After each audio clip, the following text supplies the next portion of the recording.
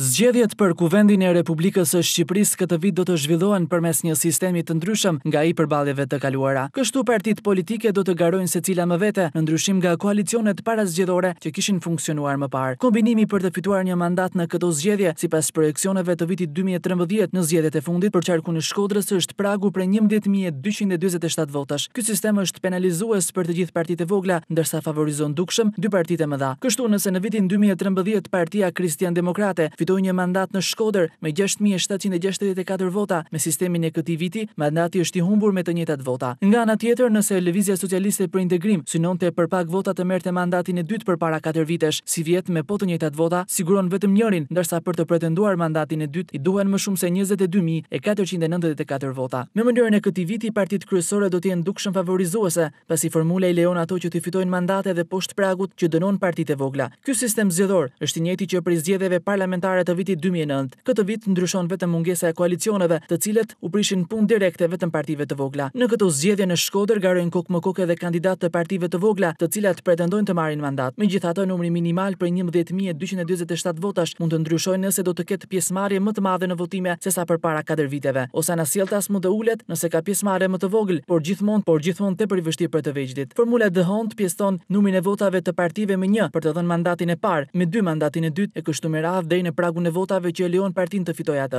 Ky rregull prishet për partitë më dha. Nëse asnjë parti e vogël nuk arrin të kalojë pragun për të marrë një mandat në Shkodër, atëherë 11 mandatet shpërndahen mes Partisë Demokratike dhe asaj Socialiste, pavarësisht pragut të votave dhe në bazë të numrit që ka fituar secila. Ky sistem zgjedhor është votuar nga partitë më dha dhe aleatët në vitin 2008 në parlament, e nkas spërzjedet parlamentare të vitit 2009.